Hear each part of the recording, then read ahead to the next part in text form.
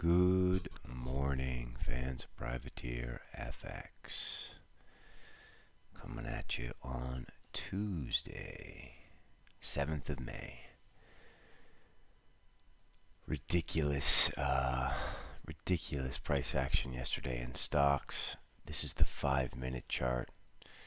This is the last piece of news on tariffs uh, at 9:55 p.m. last night. It took us all the way from 32 down to 08. Um, the whole day ended up being sort of indecisively bearish. I don't know what to say. I mean, ridiculous. We kind of got out of jail free with the news itself, so for that we're thankful. Uh, but it certainly looked pretty bad down at uh, 2883 and it was trading offered all day and then the last three hours all the way back up to 40 uh, as we said yesterday if it got above 10 it's a cut. And what are you going to do? Just have to wait now. Uh, next sort of bearish moment is through 2880 very, very difficult to trade that kind of a day. 60 handles or 70 handles down, 30 handle gap, gap fill, and then that five minute bar, 30 handles lower. Tough, tough. We'll be thankful we made some dough off of it. Uh, we're still a little bit jaded and pissed. Uh, that we're not short at the moment and it didn't fall through. But it's just a game of headlines now. So if you're quick on the headlines, um, stick with it. Otherwise, wait for the technicals to confirm 2880 is our next point. Let's look at Aussie. RBA was much more hawkish than people thought. This caught a lot of people short here we are. If you're short, you need to cut now. Uh, we're square. We're not going to get long here, but there'll certainly be. Um, this looks like it's certainly going to push above 70 70 for at least a peak. Um, and the case for being short is basically the China case and dovish R RBA.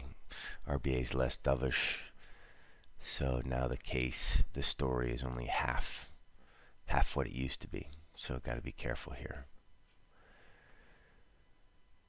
What else? Cable, still relatively big, but also still just in the middle. Not a ton to do there. Um, we do have Cunliffe speaking today.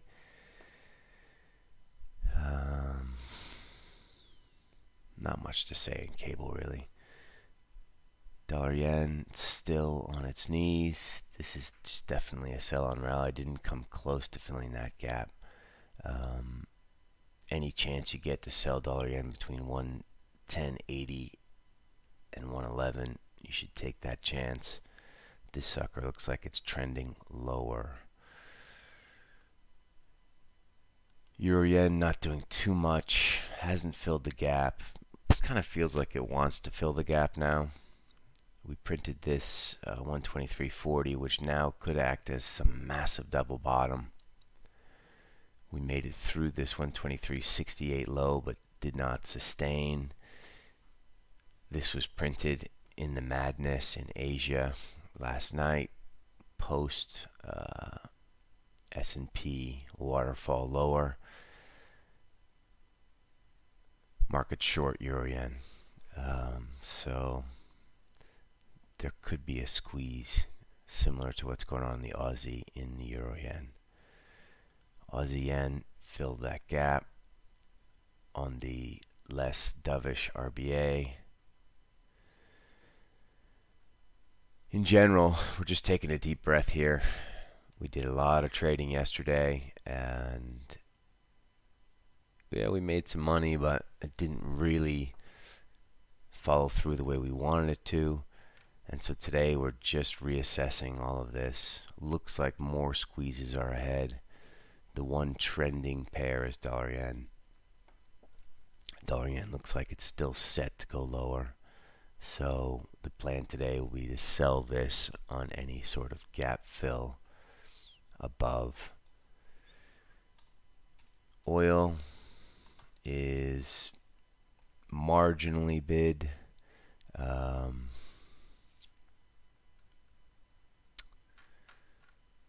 yesterday we had the 60.05 low. We kind of bullish engulfed, but we're sort of bid on the lower end of the range here. Again, this all points to squeeze time. Uh, looks like we're going to squeeze some of these risk off shorts still, but we're just basically at the mercy of tweets from Donald Trump and company. As far as the calendar is concerned, just looking at it now, looks pretty weak. German factory orders, nobody cares. Like we said, Cunliffe is speaking at 10. He's from the BOE. Uh, and really nothing out in the U.S.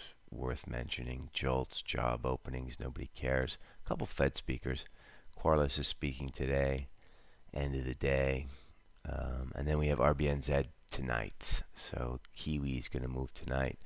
We'll talk about that more on Twitter uh, as we get closer to the time. Looks like it's going to be a quiet, quiet morning for us as far as trading is concerned.